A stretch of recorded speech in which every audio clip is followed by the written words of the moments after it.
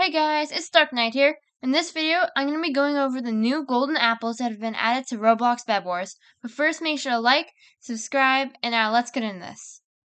So, today, uh, I'm going to be going with the new golden apples, and they were released for the uh, Season 7 countdown. We have like a robot here, and it's going to happen in about six days now.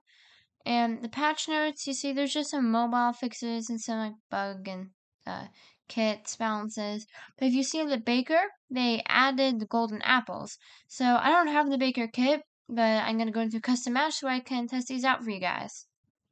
Okay, so here we are, and I'm just going to go into game mode 1 so I can get some wool and some golden apples.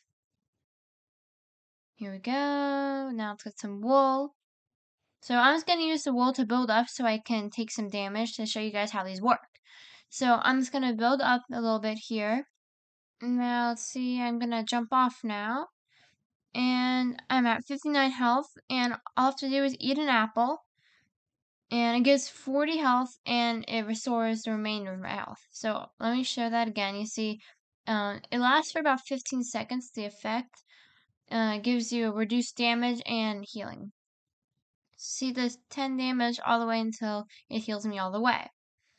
And it doesn't last very long, but 10 damage like every second is very good. It gives you a cool gold trail and a gold heart that appears. So now I'm just going to build up one more time so you can see this in action. And now let's jump off. You see we took less health than the first time I jumped off, and I regained back my health really quickly. So this is good if you're trying to take someone's bed, you know, going up against a full team.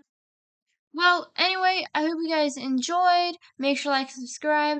And comment down below if you will buy the Baker Kit or already have the Baker Kit and will use these golden apples. And I hope you guys all enjoyed.